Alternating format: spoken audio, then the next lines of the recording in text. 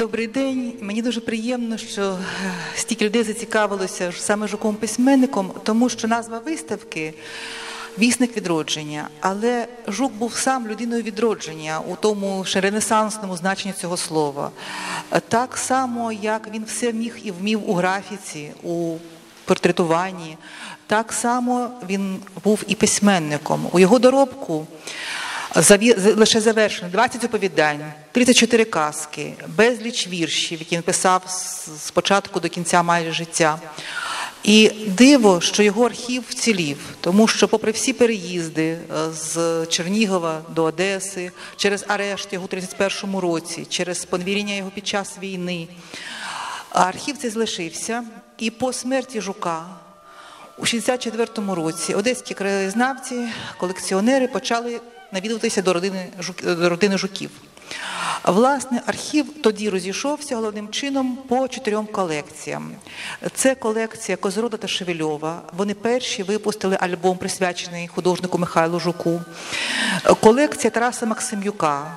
Зараз вона складає, більша частина її складає складову музею сучасного мистецтва і роботи, які ви бачите, це переважно з колекції саме Максимюка і Сергія Лущика. Але на відміну від багатьох, Лущик цікавився ще й літературною спадковою частиною жука. А, якраз дуже символічно, що у цій залі робота жука біле і чорне. У нього є вірші, написані е, ще у 10-ті роки. Білим і чорним хотів би я бути, в нічку, щоб ясно світить. День же стоятиме велетень скрути, в кожному серцю болить. І велетень скрути можна і так сказати про жука. Тому що літературна частина його архіву лишалась довгий час, ну вона була якось не зацікавлена нікому. Хоч він публікувався за життя і був відомий, і про його нього писали, скажімо, Сергій Єфремов і згадувала Лесі Українка, але все ж таки з історії літератури української жук випав на довгі-довгі роки. Е, Архів літературний жука е, був придбаний для нашого музею Лущика за допомогою Сергія Гриневецького. З чого він складається? Це оповідання, казки, вірші, п'єси, переклади, спогади. І я хочу показати просто, як зберігався цей е, е, е, Микола Бурачик, коли знайомився з жуком, то цитував фразу жука, що ви, товаришу художник, ой, тяжко бути українським письменником, але бути українським художником можна хіба лише за якусь кару. Власне, і письменником теж можна бути у ті часи 20-х років хіба за якусь кару. І ось ем, Сергій Лущик, і ви бачите на фотографії шафа, е, три полиці шафи це літературний архів Жука, ще не повний, це тільки частина цього архіву Жука. Дуже цікаві спогади Жука. Власне, ті, хто читав книгу Юхима Михайлєва про Жука, ті пам'ятають, що такий дуже дещо сентиментальний опис дитинства. І Михайлів цитує листи Жука. І саме такий опис іде дуже цікавий у Жука. Він згадує історію своєї родини. Бідні люди небагато тямлять по своїх попередників родичів. Баба, дід, ще трохи прадід, а потім все вже зливається у масу, у народ. Нема родословних книг, нема гербів, нема істориків. Навіть гублять свої могили на широких просторах землі, і не знайдеш, де, коли хто похований, і навіть не тямлють прізвищ, бо вони дуже швидко зникають у масі, як порошинка серед вихрястої куряви. І теж дуже цікавий родовід жука, власне, окрім цих спогадів, він більш ніде про це не говорить. Прадід з боку матері козак, запорожець, помер старим за 100 років. З дочкою бабою посварився за те, що вийшла заміж за кріпака, і мирився вже десь перед смертю. Останні роки шевцював і пив запоєм. Пропивав усе, повертався до хати майже голий. Дід з боку матері кріпак Микита Крюков з непокірливу вдачу відданим у солдати і прослужив на військовому кораблі 22 роки. Може, найбільший вплив мала на хлопця баба Марина. примовляла українською мовою, розповідаючи народні перекази та казки. Баба вливала першу любов до краю, до його долі, то до будучини того краю.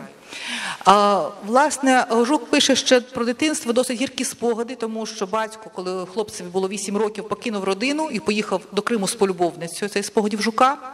Жук лишається з матір'ю, що працювала міршицею на млині. І веде дуже дуже стужно. Він пише, що родина була дуже бідна, але така цікава ще деталь. Родина була бідна, він е, пірнав тоді у річку здирав кору з дерев, щоб було взимку чим палити. Але е, мати віддавала комірчину ще е, мадам Шверман. Німкені за походженням, і ця німкені навчала маленького жука, якому було 8 років, французької мови. Така дуже цікава деталь. Е, Коли батько повертається до родини, і коли хлопцю виповнюється 13 років, то ем, Вони теж дивом, я не знаю, родина була на за словами жука не дуже багата, але на фотографії, яка зберіглася, ну вони вдягнені досить пристойно, не бідно, по-міщанськи, я б сказала. Жук е, навчався грати на скрипці. Це є єдиний спогад у першій його біографії, що він грав на скрипці, але обрав художнє мистецтво. Батько був малярем, і жук з дитинства допомагав батькові спочатку до того, як батько пішов з родини. Вони перебираються до е, Києва, і Жук навчається у школі Мурашка. Згодом він лише дуже цікаві, дуже змістовні спогади саме про цю школу Мурашка. А потім е, він приїздить до Кракова і навчається у Академії красних мистецтв. Навчається він у Станіслава Веспянського. І дійсно дуже великий вплив справи Веспянський на Жука, тому що е, був він письменником. І Жук писав потім. Писати почав саме в місті Кракові, де моїм учителем був талановитий художник і драматург Станіслав Веспянський. Там же в Кракові я близько познайомився з українським поетом Богданом Лепким, а також широким колом польських літераторів Казиміжем Тетмайером, Конопницькою, Касперовичем, Владиславом Реймотом та іншими. Буваючи у Львові у Відні, познайомився з Іваном Франком, з Василем Стефаником.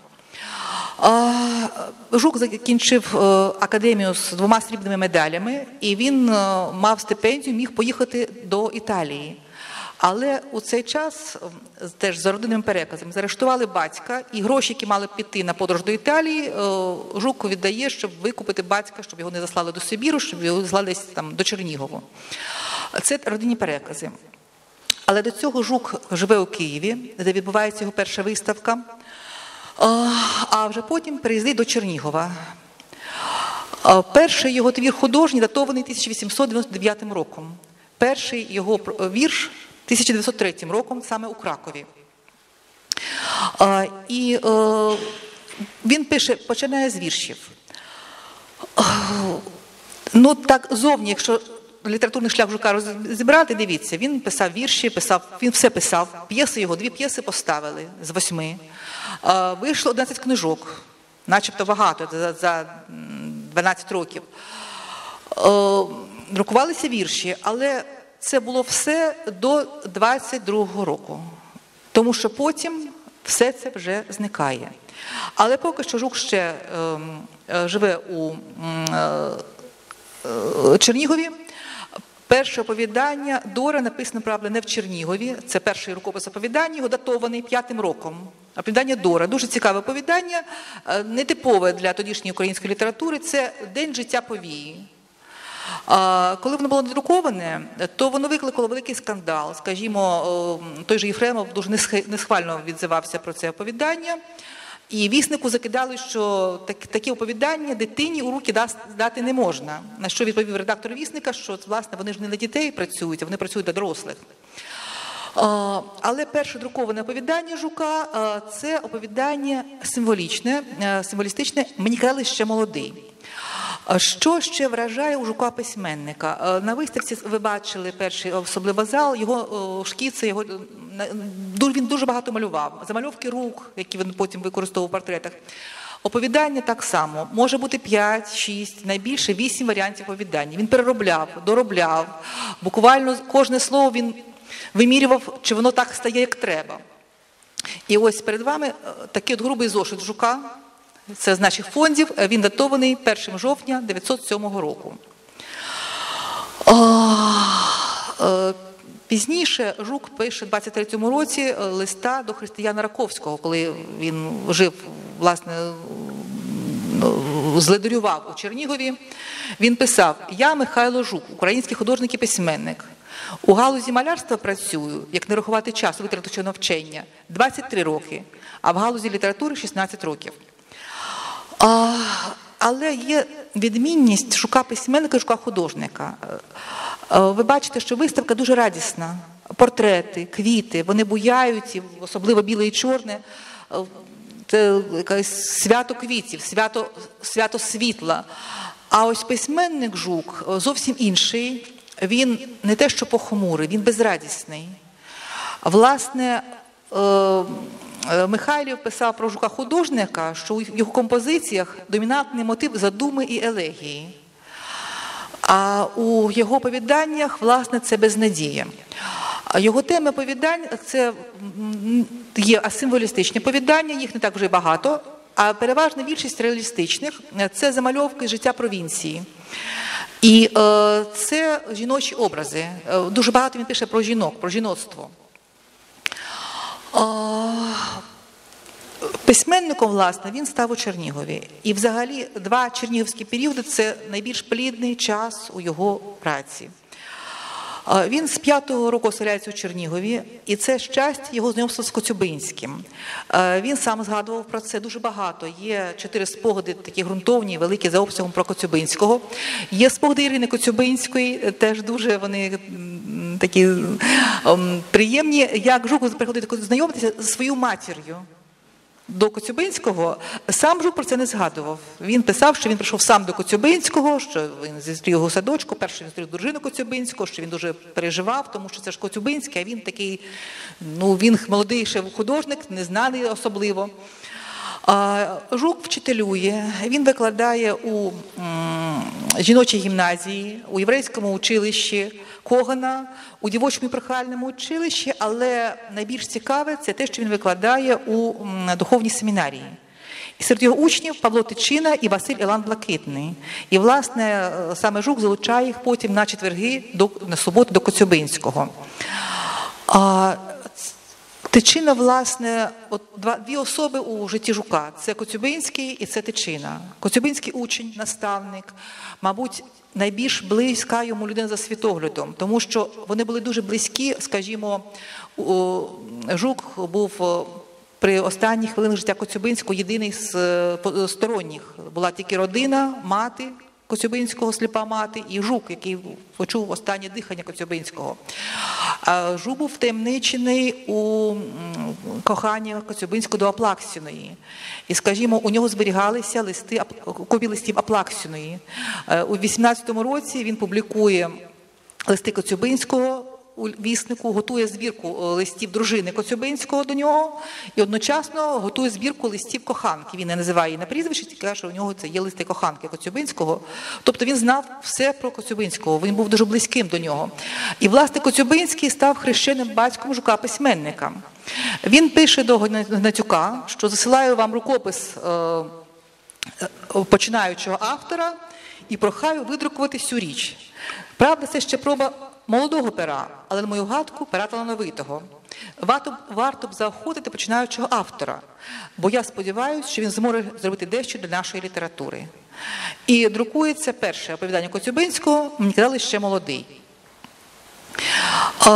У Чернігові е, у восьмому році виходить е, казка Жука Ох. Це перша віршована е, казка Жука, найбільш рання, і це перша книга Жука. Дуже цікаво, що видання було. Ви бачили обкладинку до неї, ви бачили на виставці у ну, здається, другому залі. А ще одне видання вийшло у Канаді, у Торонто. На жаль, воно без року, але воно за старою орфографією, тобто це вийшло ще до революції. Є декілька примірників, один в Україні, а один у Канаді.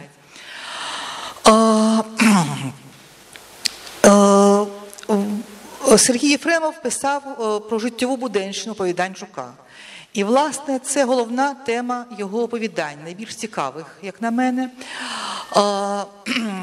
Я хочу ще показати вам сторінки зошиту Жука. Це перший чернігівський зошит його. Ось бачите, перша сторінка, запис Чернігів 1 жовтня. Вірші Жука вже надруковані, які він ще править, доробляє, допрацьовує. І е, оповідання. Такі от сторінка, авторська сторінка, оповідання, і йдуть розділи оповідання. Його увага присвячена сьогоденню, тому про шарку суспільства, що сформувався нещодавно українській інтелігенції, е, провінційній інтелігенції, міщанству. Його цікавить саме те благородне міщанство, як він писав сам у одному з оповідань. Оце машинопис оповідання. Мені казали, ще молодий. А бачите, е, сторінка це рукопис віршу, який він потім включає до оповідання. І така досить сумна фраза жука, теж з його нотаток з його блокноту. Я гордий тим, що мій батько належав до робітників, але я принижений тим, що він став, я став криком його перевтоми. Він подбав увільнити мене от тої надмірної праці, що поклали його так рано у домовину. І я, як увільнений раб, опинився ні в сих, ні в тих. Я поповнив ті кадри людей, що являються приміряючою серединою, що створені настільки негодними з фізичного боку, що не годні піти у ряди своїх предків, але не годні стати у ряди першої лави. Це є те благородне міщанство, яке мріє спокійно тихнути день до вечора, яке боїться всякої одміни, як 13 числа, яке живе під оглядом власного товариства. І, власне, це благородне міщанство це і є е, тема, тема оповідань Жука. Дуже цікаве ще звернення до жіночих образів. Це теж досить сумна тема або життя повії, оповідання Дора. е, Безнадійне життя єпархіалки, дівчинки, яка була закохана, яка мала багато світлих сподівань, надій, і потім побутове життя, родина, те, що обтяжує, те, що о, власне не дає жити спокійно, її не дає стати іншою людиною. Але от дивіться, е, це варіант Оля. Ви бачите чотири варіанти повідання. Перший вони я намисто так зробила. Перший варіант рукописний, другий потім дороблений, третій машинопис. А четвертий варіант, такі довгі вузькі смужки паперу, це вже він переробляв оповідання у 20-х роках, коли мав надію видати книжку. А, Е, Оповідання Сни провінції теж дуже таке цікаве за змістом. Е, Тобто провінційне містечко, ну саме Чернігів, де є двоє людей: Хритон Платонович та Андрій Петрович. Коли сниться один, то це нещастя, а другий то це нагоре. І ось провінційні інтелігенти, вчителі, службовці, начебто людоосвічені, яким набридло, що сниться цей самий Андрій Петрович, вирішують його побити. Але вони перед тим трошки випивають для хоробрості, вони заблукали, вони його не побили. Але оце безнадійне, беззмістовне життя, як, про яке, від якого, якого жахається жук. Ви бачите, коли кому снилась свиня або Хритон Платонович, то це було ознакою великого щастя. Чиновний люд тоді сподівався на городи або прибільшення платні, а майстри або торговельний елемент різних вигод різних комбінацій. По великих городах люди мало сплять уночі, а щодо провінції, то сон тут має велику вагу. Через те Халертон Платонович у снах горожан придбав велику прихильність до себе. А кому присниться залізти на гору, або стояти в церкві чорну наміткою, або Андрій Петрович, то це приповнило полохливі серця горожан такою тривогою, що вони проклинали і день, і годину, коли народився полегенький син Андрій Петрович. Ще одне повідання письменник. Власне, Жук написав не письменник, а письменник. Дуже уж такий ущипливий нарис про е, журналіста, який е, стучить ще у поліцію, який намагається бути своїм серед так званих вищих кол, а які ним гидують, і якось він підлабузнюється до вищих, він гордує нижчими. Ось е, теж рукопис цього повідання, ви бачите три варіанти рукопису. Е, Оповідання з наказу губернатора. Це е, теж е, власне анекдотична ситуація. Е, Дрібний службовець, е, який працює у ломбарді, до нього приводять, коли він у на службі, приводять городовий приводить собаку, великого собаку губернаторського. Кажуть, що це наказав губернатор. І того собаку куховарка зачиняє у хаті, собака бешкетує, собака розбиває вазу, приходить господар, він жахається, як це так, і він погрожує губернаторові, оце ти розбив вазу, оце я, це я нарахую що 100 карбованців, оце ти будеш голодний сидіти, я тобі м'яса не дам. Оце, пане губернаторе, от повийти трошки. Такий він сміливий, такий він гордовитий. Але приходить на другий день наказ прийти до губернатора, і вже він лякається, вже він улесливий, він приходить, такий боязкий. Губернатор посміхається, каже, та це дурний городовий переплутав. То треба було до ветеринара повезти, а він переплутав вас прізвище однакові. І цей чоловік, який був такий, начебто такий, він гроші буде вимагати. Ой, каже, у вас такий гарний собачка, він такий вихований. Він не хотів їсти печінку, я йому парного м'язка купив. Той каже, губернатор, може, якась шкода? Та ні, ви що, ніякі гроші. Ні... Це ж така честь вам ма- мати вашого собаку у хаті. І теж знову це приниження людини, такої звичайної людини. Власне, жук не те, що він засуджує героя, він розуміє цей жах перед начальством, це намагання якось так от вижити у провінційному невеличкому місті. Оповідання смуток теж, е, ви бачите, перероблене у 20-х роках. Воно ввійшло, перший варіант, надрукований в журналі Музагет. Знову ж таки, це вже зовсім інше. Це оповідання про безнадійність життя. Начебто людина живе, начебто вона щось пише, вона щось робить, але все оточуюче. І люди, які її оточують, вони якісь не такі, вони сірі, вони не яскраві. Взагалі мене це вражає. Він був знайомий з Коцюбинським, спілкувався з ним, з Коцюбинським, з Вороним, з Саміленком. Але це оточення, воно не відбувається в його прозі зовсім. Воно буде потім у спогадах. А життя от жука, воно зовсім таке, от, ну, безнадійне. Жук писав, власне, з 5 до 19 року. Оповідання, саме оповідання. Останнє оповідання травень е, датовано вже 14 роком, перелоблено у, травні 18 року, як співпало так. Потім оповідань вже не буде, будуть незавершені якісь нариси. Вісім оповідань з 20 були надруковані за життя Жука. Єфремов писав про Жука. Прихильником чистого мистецтва виступає і Михайло Жук, що в поезіях своїх співи землі розробляє переважно мотиви особистої лірики. З прозових творів Жука виязначається чистотою рисунку і настроєм оповідання тільки встати, що нагадує потрохи і пресионістичну манеру Чехова з його влучним образом життєвої буденщини. Оце саме життєва буденщина, оце те, про що писав Жук у оповіданнях. А, е, у віршах він переважно символістичні у нього вірші. Виходить його книжка Співи землі у 12-му році. А, І е, відзивається про неї Лесі Українка. Ну так, е, прихильно, але каже, що вірші непогані, але не вистачає йому артизму, пише на матері. Жук мав намір видати книгу своєї прози. У нас у архіві, е, це ще пробачте, оповідання дійсність і мрія, ще один рукопис. І теж дуже характерний почерк у Жука. Ви бачите, такий трошки він як, наче трошки як намальований, такі е, літери гарні. І ось зміст книжки. Те, що е, у 20-му році Жук мріє видати книжку, 20-ті десь роки приблизно. Ви бачите, входять його пробачте, оповідання і п'єса легенда. Власне, те, про що вам розповідала, це сни провінції, це з наказу губернатора. Мені казали, ще молодий, Оля, тільки встати, травень. Це те, що він хотів би бачити надрукованим. І це дуже цікавий теж портрет, дуже гарний. Про силует це портрет його дружини Анастасії. Він знаходиться зараз у родині е, Ловейко Жук. А потім згодом Жук його використає е, у е, обкладинці до майбутньої книги прози. І теж дуже така зворушлива, е, як на мене, це оповідання Жука вона, рукопис, переписаний дружиною. Бачите, відрізняється ну, почерк. Вона, вона була дуже відданою дружиною, дійсно.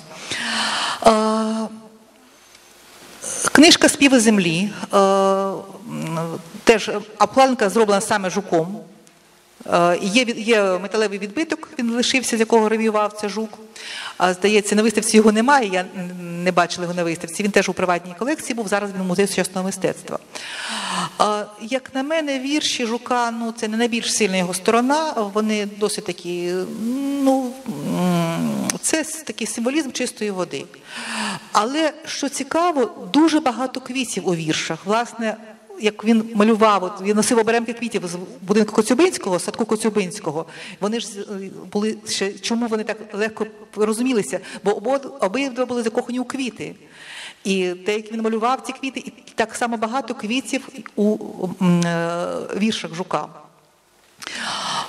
Помирає Коцюбинський. Жук був, як я вже казала, свідком, і він підписував духівницю Коцюбинського.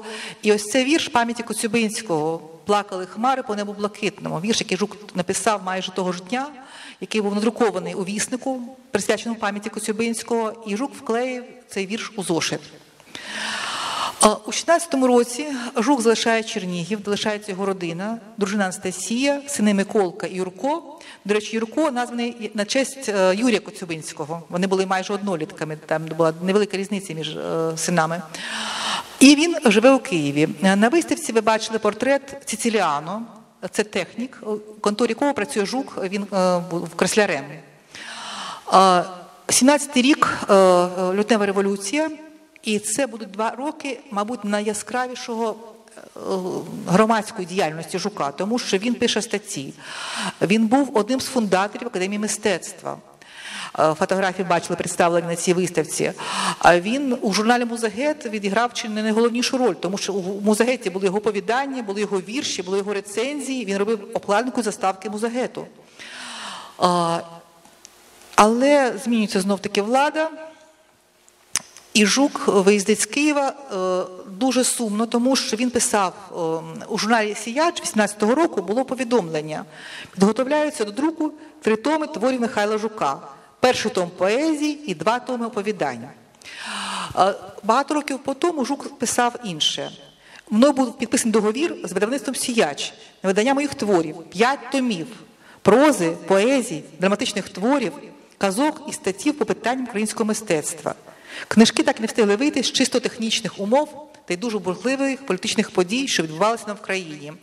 Жук помиляється, тому що казки переважно писав вже у Чернігові, так само, як і п'єси. Ем, До е, цих книжок Жук робив обкладинки. Да, та, і ще Жук автор першого надрукованого вінка сонетів українською мовою. Це вінок сонетів Київ, січень 18-го року. Це перша сторінка, ви бачите тут. Е, Знов таки з його грубого зошиту. А ось малюнок, ескіз до, до книги, е, яка, яка мала вийти. Це проза. І обкладинка поезії. Це портрет дружини, власне, який вже ви бачили перед тим, він трошки інше змінив. В нашому музеї є ще один портрет дружини Анастасії, це 10 роки. Вона дуже, дуже така була вродлива жінка, ви бачите теж її. А, і е, теж дуже зворушливий експонат, е, записник жука, блокнот з віршами. Це 10 роки. І ми його відкрили, а там така, бачите, вишита стрічечка. Е, Можливо, це зробила дружина. Ми не можемо стверджувати, але швидше за все це зробила саме дружина жука.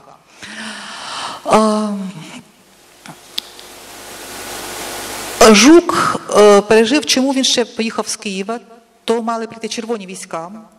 Він тікає до Чернігова, але він переживає е, взагалі у Жука у житті було два арешти. Його арештували перший раз ще за царату, за десь роки, року п'ятого приблизно. Це така таємнича історія. Її досліджує зараз наш дослідник одеський Олександр Дмитренко, але він зараз на фронті з перших майже днів, і тому це, це розвідка на потім буде. Він же це зробив невеличку розвідку, але вона буде опублікована вже, коли буде Саша повернеться з фронту, Олександр повернеться з фронту. А у Жука є це чи не останній його запис прозовий, е, те, що він пережив у Києві. Був у Києві, коли вперше прийшли з трусом німецькі солдати. Вони увійшли в помешкання так просто, як до себе в хату. Все перетрусили, викинули на очі людські, брудну білизну і все те, чого він не бажав би так отверто навіть сам бачити. То були люди з рушницями, з наганами, в залізних збаняках на голові. Ор Степанович стояв як опльований. Чемність, яка була йому звична, тільки на зверхності панувала, а всередині кипіла буря образи, безпорадності, безглуздя. Як свердлом крутило питання, як жити на людях, як можна після такої образи існувати, як можна себе брати за людину, істоту з розумом, з чимось вищим, з почуттям власної гідності. Як і кому відповісти, коли це діє того, чиє ім'я маса. Винуватого знайти не можна. Але сам вчинок настільки жахливий, що ні сонце, ні ночі, ні час його не змиють. По такому вчинкові людина стає інвалідом, моральним інвалідом, якому вже немає місця серед здорових, серед нормального життя. Це враження жука від громадянської війни. Він приїздить до Чернігова. Це другий період, теж дуже плідний. Це казки та п'єси. Е, Чому він писав саме казки? Е, Ну, у нас є дві гіпотези у мене. Перше, те, що це двоє синів, які треба розважати. По тому це можливість видання. І по-третє, е, не маючи можливість висловити всі свої думки у прозі, він їх ховає у шати казки. Тому що серед казок Жука е, вони поділяються, е, скажімо, є казки, оброблені народні казки, казки суто його за його темами, казки, які і політичні казки, про це мова буде йти окремо. Власне, перша казка жука це сьомий рік казка Ох, віршована казка, восьмий рік правда та неправда. Потім довга перерва, на 10 майже рок- років. І казки він пише з 20 з 19 по 23 рік.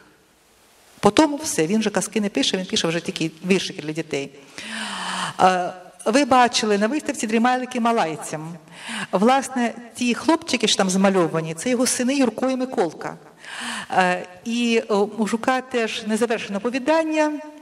Е, Було собі двоє хлопчиків Юра і Миколка.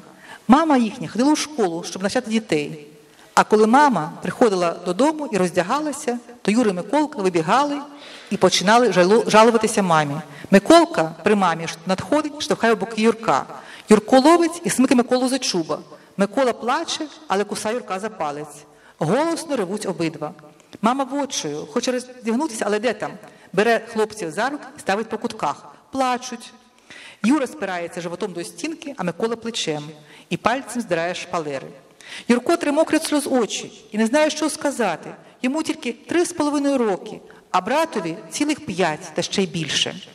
І, власне, е, казки жука, е, кораблики і війна це е, з життя синів які робили кораблики та будували з карт, гральних карт, будували будиночок. Казки жука теж не дуже веселі.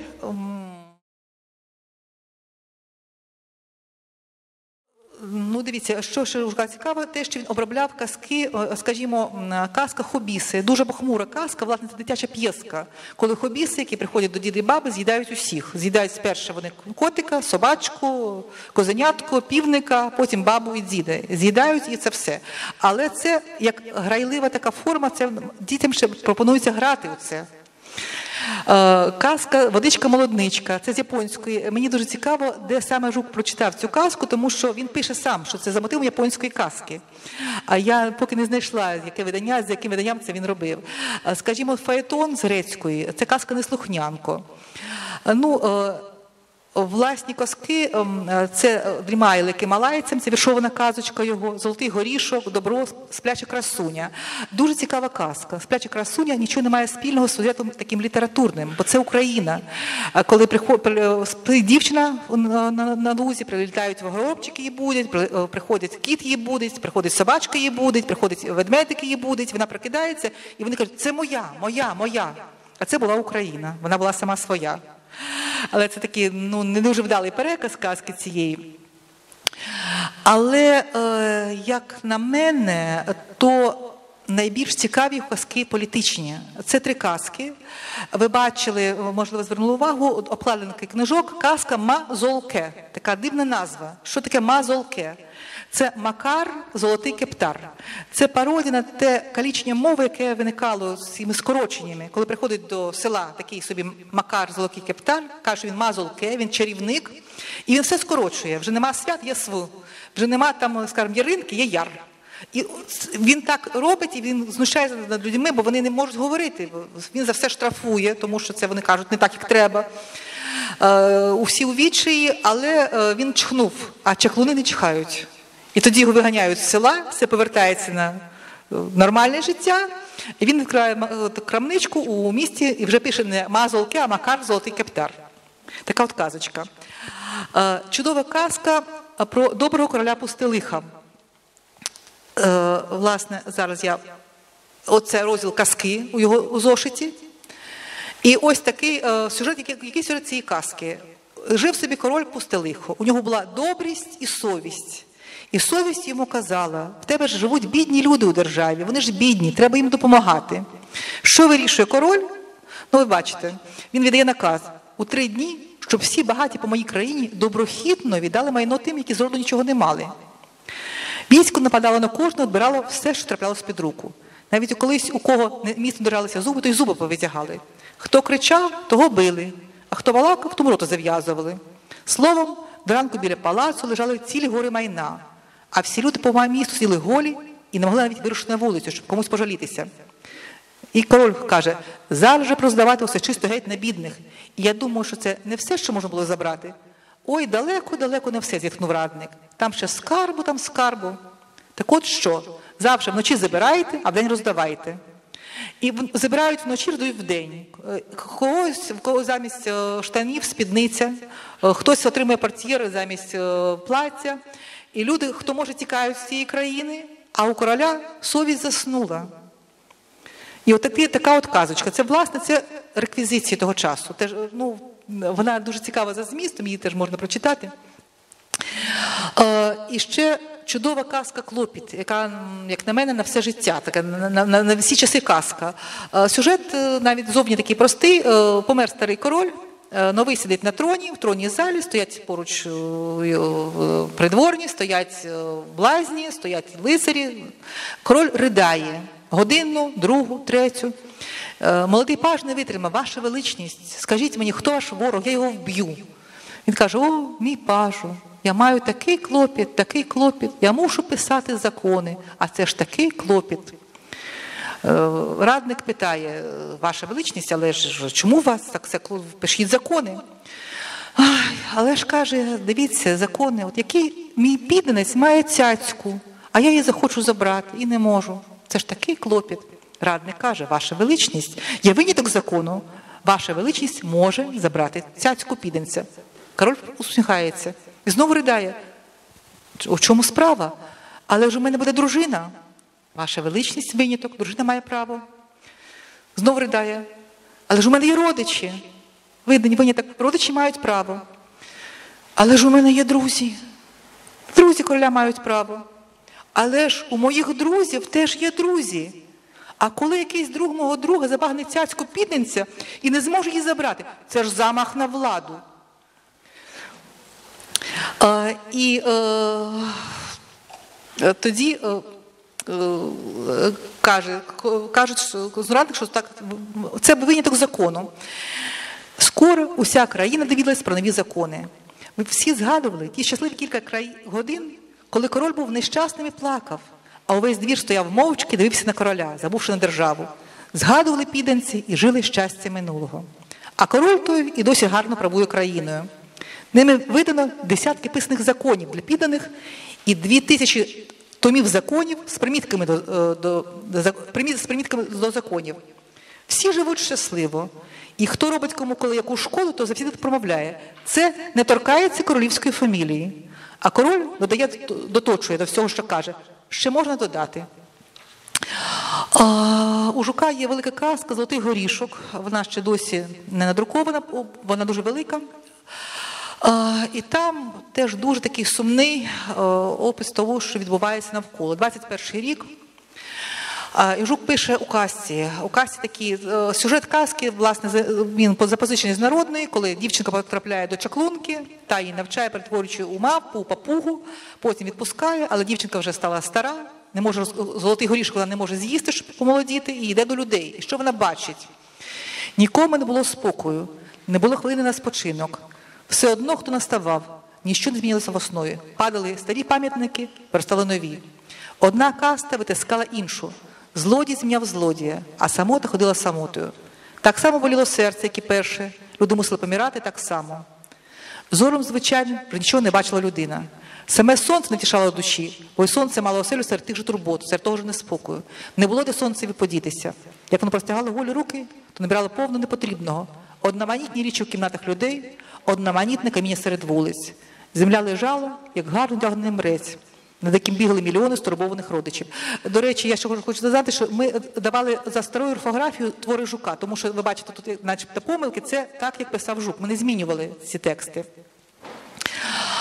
А, І е, на виставці ми дали це з нашого музею теж його саморобна книжка Принцеса Луна.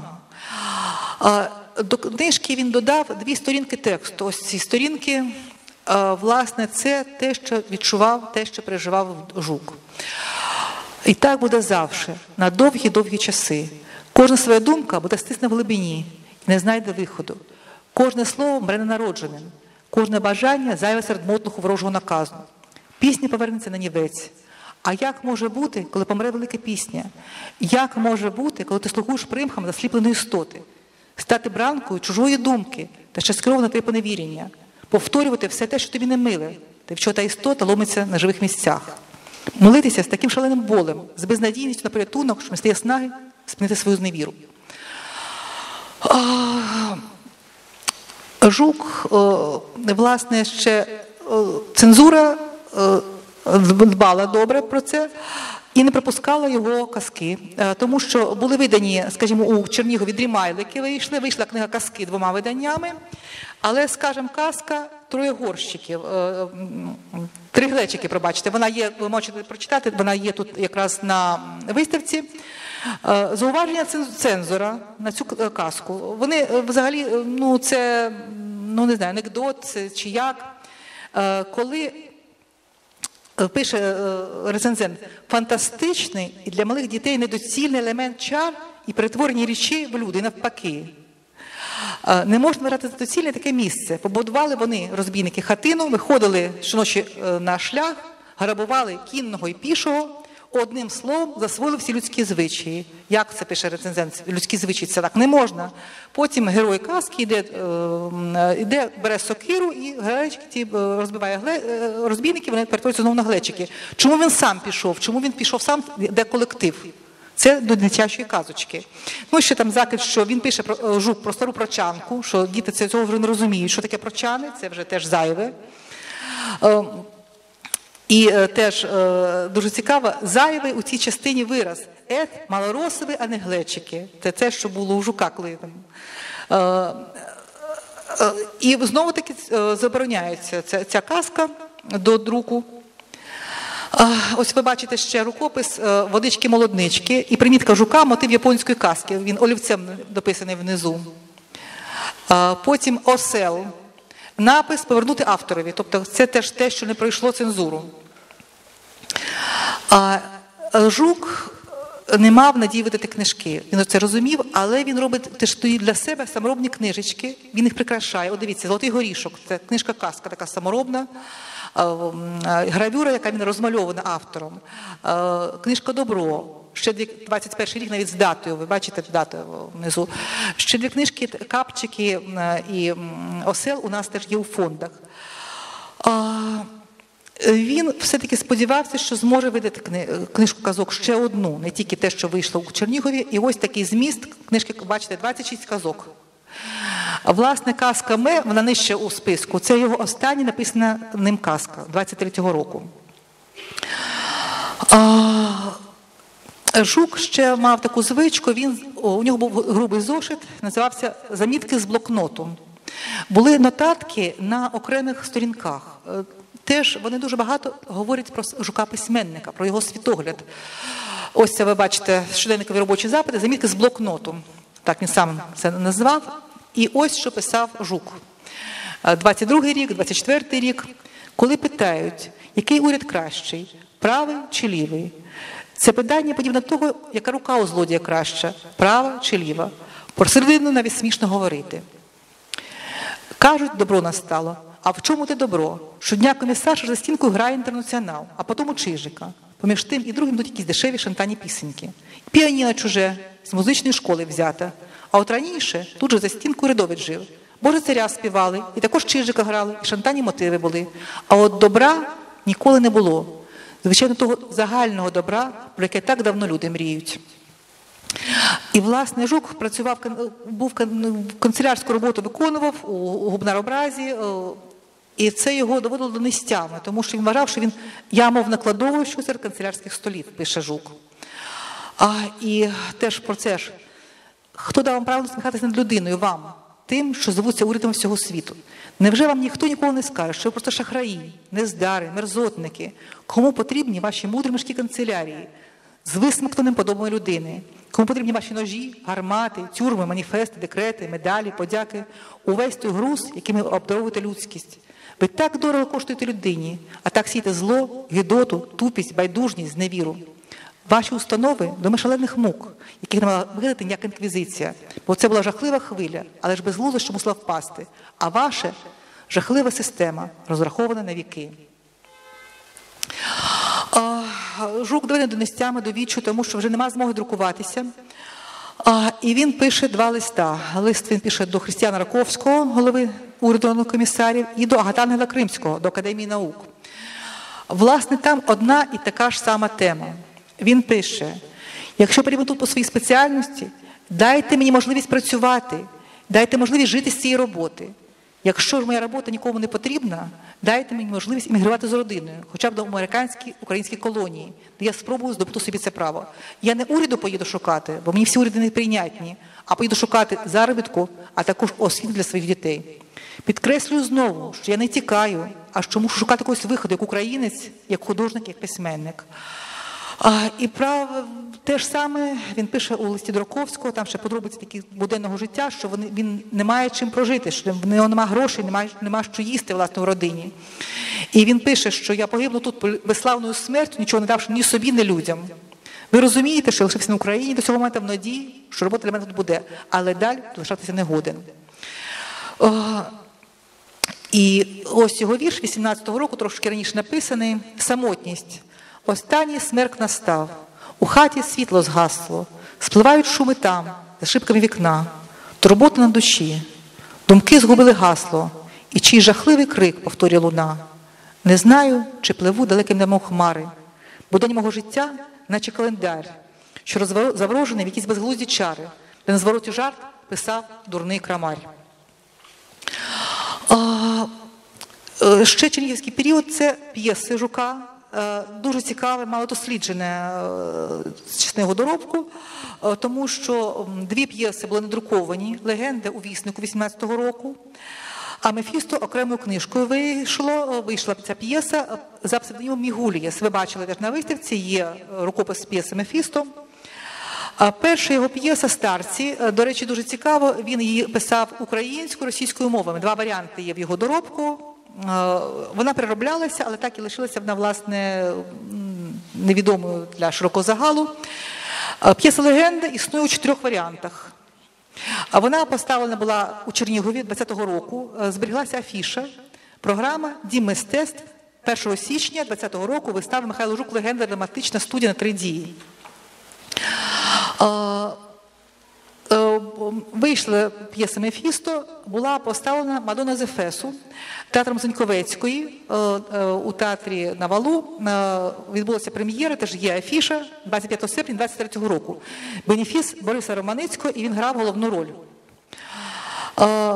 Лишилися у його доробку п'єси Плебейка, чотири варіанти і машинопис російською. Російською йде так: Зелений глаз, Венеційська красавиця, трагедія в чотирьох актах. Е, на цьому ж примірнику, на одному з примірників напис до репертуарної ради 25 рік, травень, і відбиток штампу цензурою заборонено. П'єса спочинок, е, п'єса танок смерті, п'єса тополя, е, п'єса безначальства і драматичний етюд.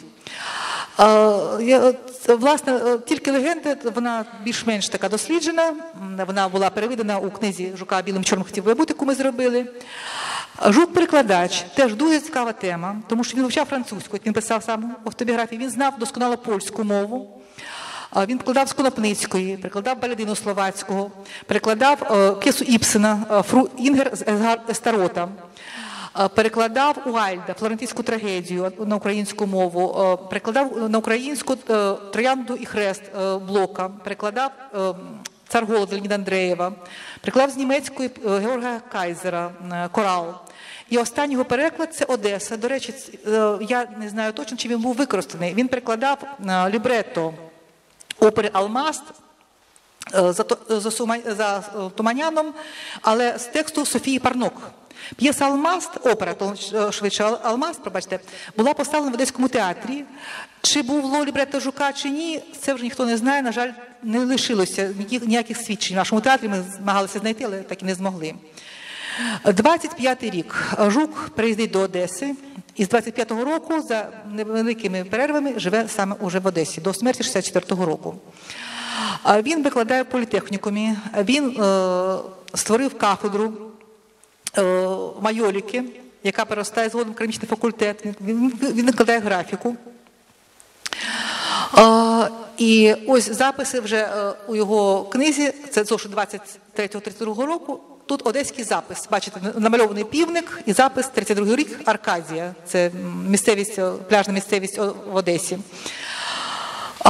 Що відбувається в Одесі? Жук е, має надію видати книжки своїх, пише листи до Тичини. Подає на розгляд книгу до спілки письменників у 34 році. Жук, який подає на розгляд одеським, ну скажімо, назвати їх письменниками це зробити їм ну дуже великий комплімент. Але вони розглядають його книжку і начебто рекомендують до видання. А, але цензура бдить. І є дуже цікавий спогад у Сергія Єфремова. Він пише про зустріч з Жуком у Харкові, і Жук розповідає йому про те, що була заборонена його п'єса Весна, дитяча п'єса Весна. Чому була заборонена? Бо там дієва особа Чубарик. Йому кажуть, що це ж Чубар, як же ж це можна? Це ж е, він питає, е, е, каже Єфремов. ем, Цензура запротестувала, адже в нас голова Совнаркому Чубар. Не можна згадувати. А що ж ви робитимете, коли головою Совнаркому буде жук? Але ж тоді усіх жуків сказок доведеться викреслювати. Не помогло, і Чубарик мусив сказки випасти. А, Це пише Єфремов. А Жук звертається у відчаї з листом до цензурного комітету. Е, Він пише так: звичайно, що моя заява буде гласом п'ющого в пустині, але ж я вважаю висловити свою скромну думку перед високим безапеляційним осудом. Що він пише, е, що він вельми вдячний панові прокуророві за його визнання мого літературного хисту та знання сцени. Але 20 рядків роботи дали мені е, це знання, а не 20 рядків безпідставної рецензії, написані паном прокурором. Знову підкреслюю, що знаю наперед всі результати оборони. Це все одно, щоб якби похований, та вигадав запевняти живих, що він живий і не думав помирати. Його б не слухали, бо такого випадку ще не було. Я певний, що в будучині, підраховуючи всю суму художнього доробку, можливо, знайдеться друга оцінка моєї роботи. Можливо, що багато буде викреслено. Можливо, що я зійду в лето без слави пам'яті. Але це буде встановлювати не ваша репертуарна рада своїм ножем канцелярським. Слухали, постановили. А, і ще він теж наводить приклад, що- йому заборонили п'єсу, бо вона куркульська. Що було куркульського? Початок п'єси. Сидить дядько на стільці, взивається по стільці. А дідина мордується, що в чоботи не взується. І це куркульство. Він мусив переробити, сидить хлопчик на стільці, взивається по стільці, але все одно не пропустили. Тому що худоба взу- взувається по стільці, там коні, вівці, корова, а це теж це вже не колективізм. Пише Жук, що при таких умовах працювати не можна. Не може бути і того, щоб осуджений не мав права оборони, не мав права, не мав виходу з мертвого кутка, не мав надії на перегляд його справи, а поким склав зброю, як засуджений на смерть. Але Жук намагається писати, він перероблює оповідання, перероблює не на краще. Ну, Ті варіанти, що я читала, власне, він ну, намагався їх зробити ближчими до часу. Скажімо, оповідання бабуся, перший варіант дві сторінки, останній варіант чотири сторінки. Він ще городового, який його змальовує такими дуже ну, радянськими фарбами. Але це не допомагає. Розуміють, що жук людина освічена, тому владі підстріли за фактом своєї освіченості, інтелігентності. Жук пише статті до журналу Шквал Одеського про художників, е, досить велика низка статей. Він пише е, сонети. Ось його фраза до цен- центрального комітету. Пише сонети, е, морські сонети. Переважно.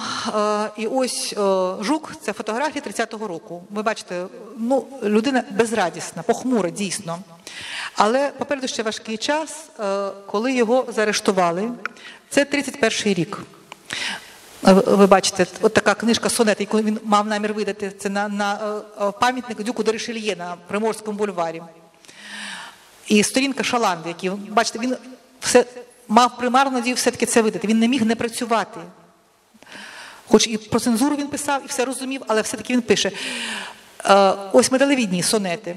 Е, Є, е, його заарештували у лютому 31-го року. Чому заарештували, досі ще невідомо. Є така гіпотеза, що саме за публікацію цих морських сонетів у червоному шляху. Ми замовляли ОСБУ справу Жука, але нам що її ще не знайшли, її не можуть знайти. Чому теж не, не знаємо. Нам порадили Андрій Когут, директор архіву СБУ Київського, порадив, як її шукати, але почалася війна, ковід, потім війна і.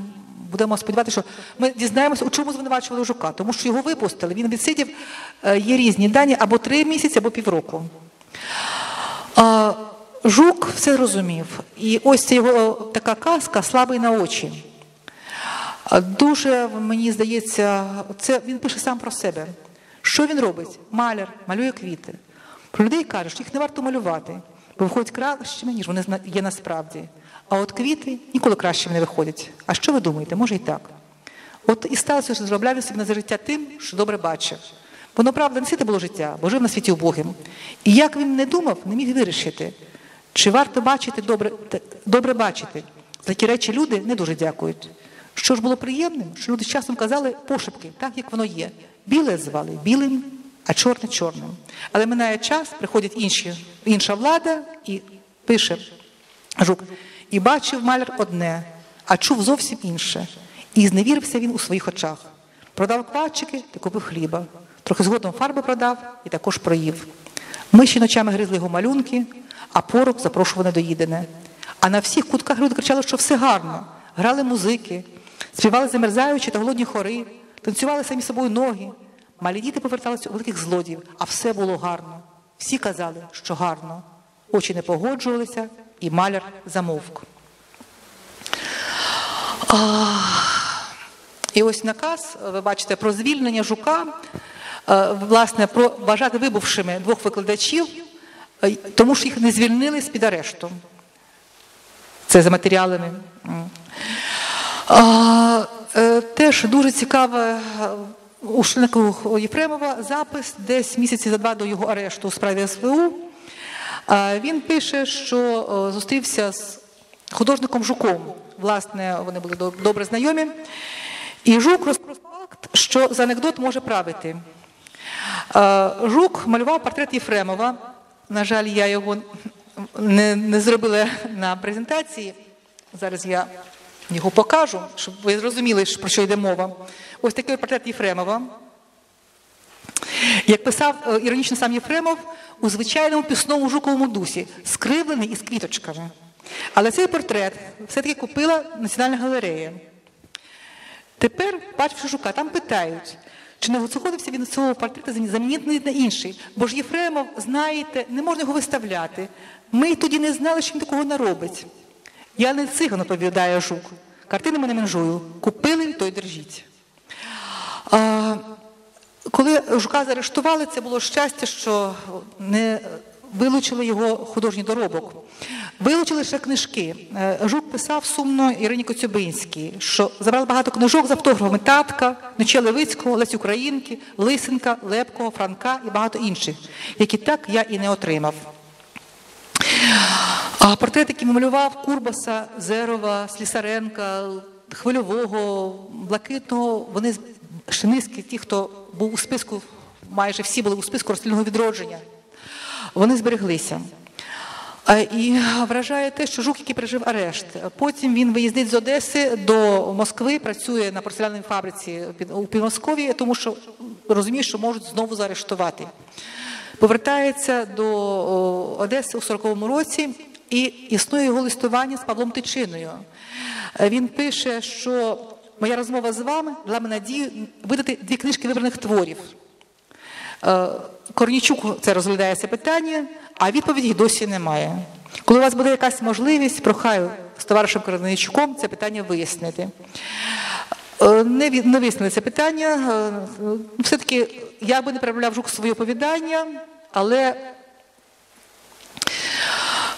Зрозуміло, що це було він не був радянським письменником, не- вкладався у ці рамки. А потім війна. Жук залишається. е, Він е, зробив у нього є спогади про війну. Теж написано російською мовою. У його доробку це такий не дуже частий випадок. Є два його російською мовою записи. Це про його арешт, коли він е, споглядає як э, у, как в солнечном солнце смотрит сквозь решетку, і акація цвітуща за решеткою, і лише параше тоні сонячний луч. Це, спогади про його про ув'язнення. І спогади про війну починаються з такою фразою Юль був прекрасен». Він пише про квітуче місто, про квіти, які по всій Одесі, про те, що вони приймають е, іспити, і за вікном велике скляне вікно художнього інституту, і за вікном вони бачать, як літають літаки німецькі, чують вибухи, замовкають, потім знову починають роботу. Пише про бомбосховища, які не були обладнані, хоч це було новий будинок на французькому пролетарському тоді бульварі, будинок спеціалістів. Він пише, що він задумується над тим, що він чекає, що дадуть наказ про евакуацію. Хворіє дружина. Один син пішов на фронт, він про нього нічого не знає. Другий білобілетник, він працює на вдогінній станції одеській. І Жук думає, роздуми, що е, його доробок, його е, картини, його життя, кому воно потрібне, що з ним буде, що з ним станеться. Е, Проходять до Одеси румуни.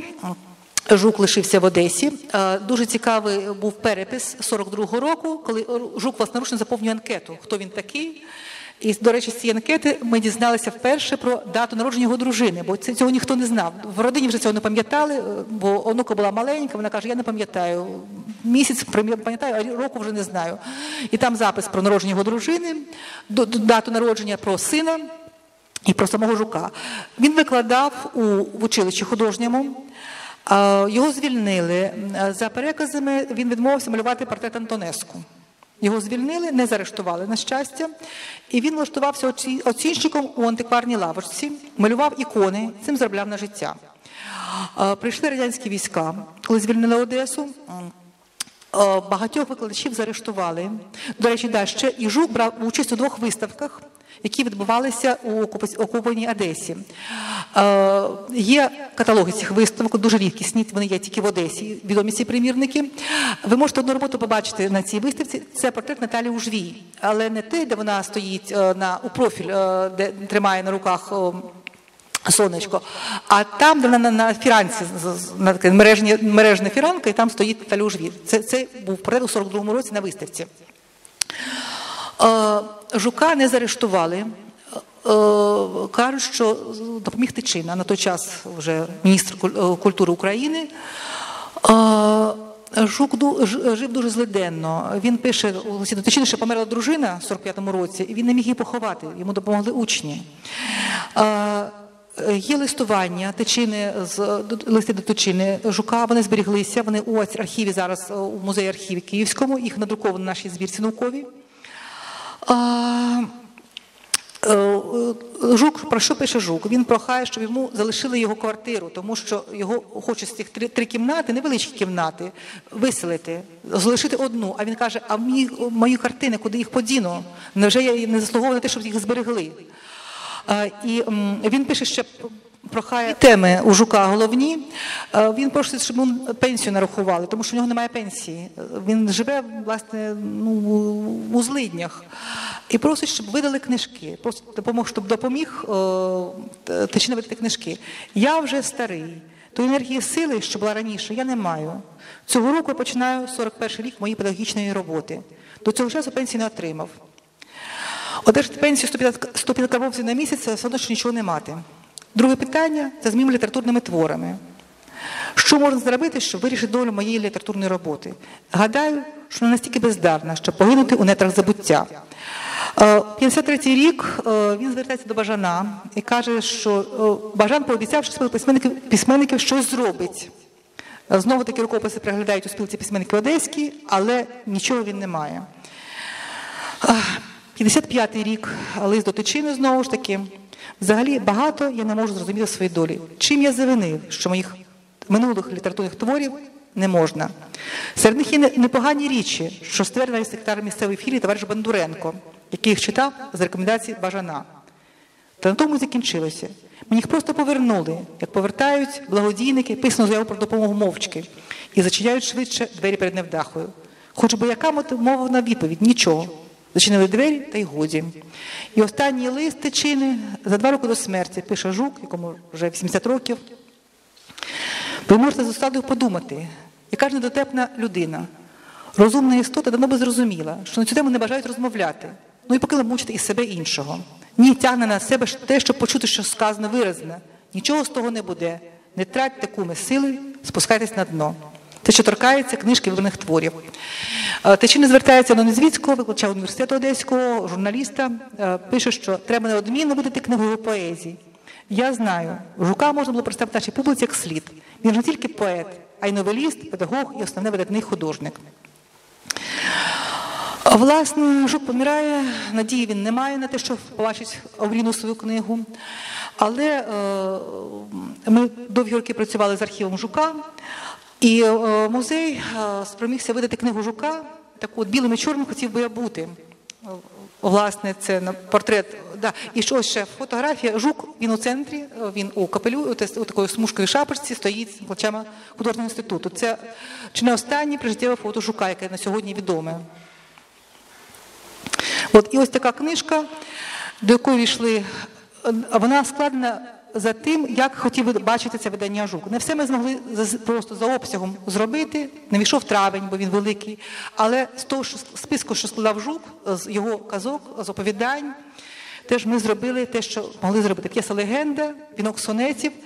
І теж дуже цікаво цикл сонетів море, які е, у нас є в музеї. Але таке е, жуку він писав гарні дуже морські сонети, але додав туди трошки революції. Ну, щоб було, ну, щоб мали змогу видати. Їх ми, звичайно, сюди вже не включали.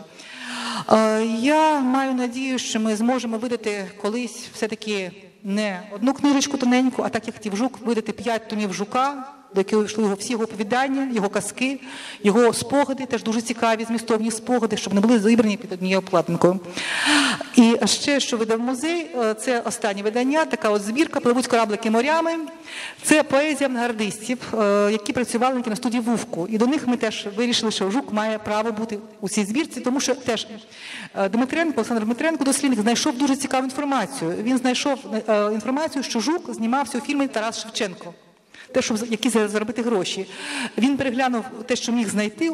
Поки що жука він там не побачив. Можливо, з часом знайдеться повна копія фільму, і ми побачимо жука кіноактора. Е, Ще, до речі, такий цікавий факт. Взагалі, жук дуже багатогранна людина, дійсно.